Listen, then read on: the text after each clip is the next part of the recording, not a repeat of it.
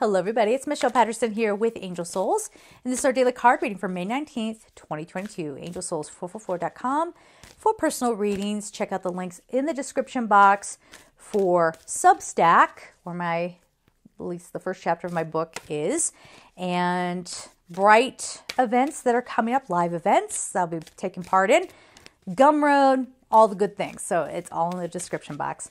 Let's see what we have for today. It's kind of filling out a story from the past. Oh, hi. Okay. past four days. Yeah, see, four of Ariel. When you give, you also receive, being resistant to change, extremes in how you spend or save or spend money. That can definitely be the case. This makes me think of someone who is possessive. Remember the story?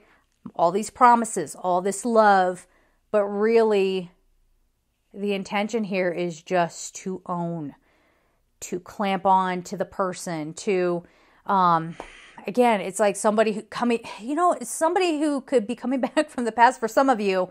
And it's like, you, we always belong to each other. You are mine. I'm going to come claim what's mine. Who? Like, you do you, but I don't, I don't know about all this energy here. Definitely, this is someone hanging on too tightly but again, someone who thinks they own you, they can control you, they have the only say in the situation.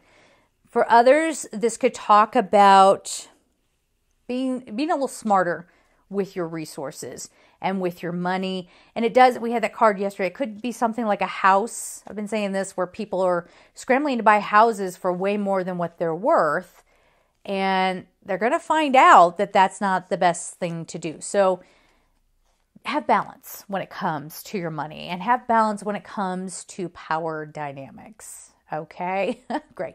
So we're going to leave it there. I'm sending you all so much love and take care.